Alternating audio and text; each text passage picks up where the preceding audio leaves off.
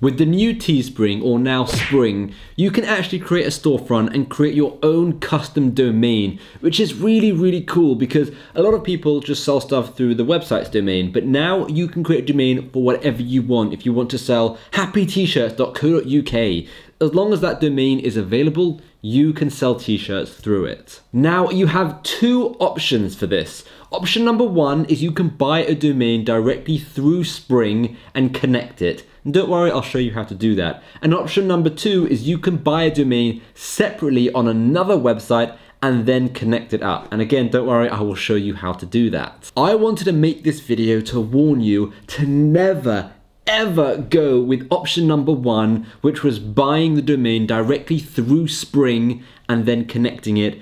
And the reason for that is it's ludicrously expensive. Like, I don't even understand why anyone would do it. It's so blatantly obvious that they are ripping you off. So firstly, let me show you here on the computer what you shouldn't do. If you were just going to do option one, which was buying a domain directly on Spring and connecting it, this is how you would do it. You would go to your Spring dashboard, you would go to stores over here on the left hand side, and you would click add custom domain. After clicking that, it would take you to this.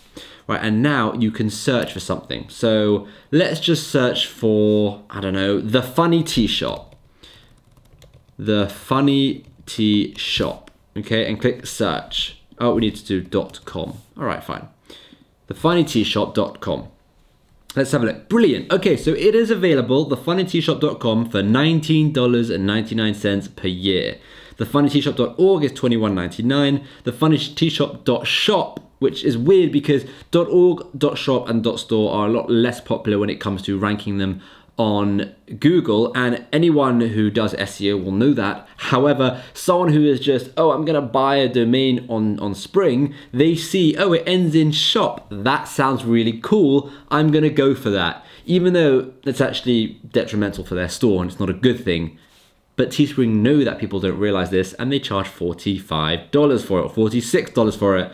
Oh, you sneaky bastards, you. Right, and then you've got all the other things .online, .net, .clothing, .co, .me, .shopping.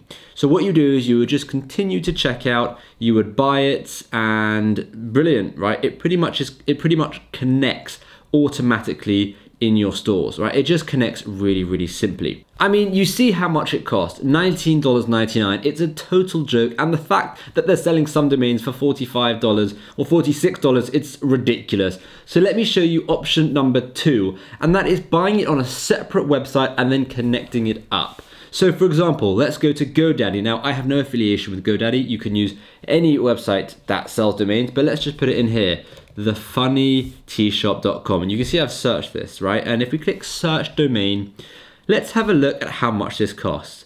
Thefunnyteashop.com is 99p for the first year when you with a two-year registration. The second year is usually 9.99, but I'll show you when I add it to the cart. You've got .co.uk is one cent. .shop is 229. The funnyshop.club is 112. So if we click add to cart, and we go to our cart, we'll see how much it will be in total.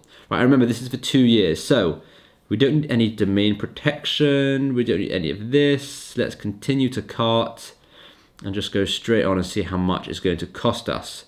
So we could probably apply some sort of award. It's going to cost us 18 pounds, which is first year is 99p, second year is 17 pounds. Now that's 47% off. Now if we go for more years, it will probably get cheaper, but I don't actually know um, 31% off. So it is getting slightly cheaper and one year will cost us 10.99. Right, so let's just say, let's just compare it with one year, right? You've got one year at $19.99 or £10.99. Way cheaper. And then you've also got you know, two years it would cost forty dollars. Here it's only costing eighteen pounds. Now in terms of dollars, I'm I'm on like a UK pricing here, but if I change it to dollars, it would probably be around the same, eighteen to twenty dollars. So it's significantly cheaper, half the cost to actually use GoDaddy. And in terms of connecting it, let me quickly show you because it's not very difficult. You've got to go over here, click add a custom domain, again, left hand side stores, add a custom domain, and instead of searching for one here, click I already own my domain, and then you just put it in. Right now, I don't actually, I haven't bought that domain, but what would happen is I would put the domain in, which was, I think it was my funny, the funny tea shop, right?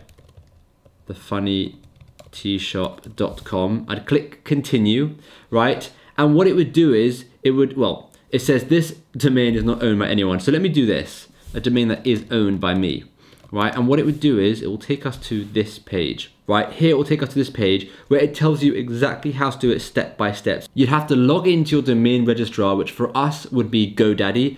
And once you've done that, you need to go to the DNS settings on your domain registrar and just change the CNAME and the A to these things. Once you've changed it to these things, you click verify connection and then it takes you to this page where it says your domain has successfully been verified.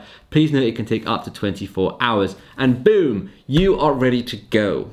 It's really that easy. So if you ever decide to actually use Spring, because I don't know, you might want to, that is how you should set up a custom domain. Don't do it directly through them because you're gonna end up spending a lot more money.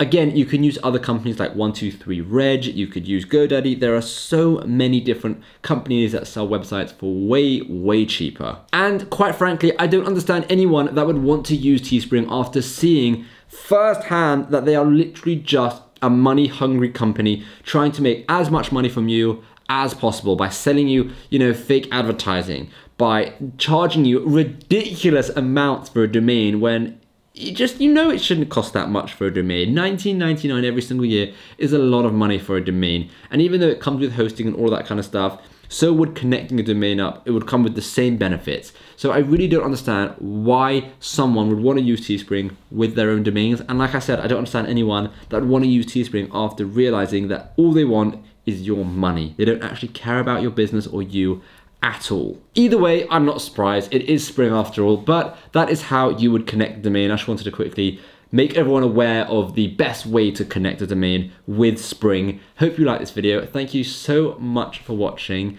And yeah, I'll see you in next week's video.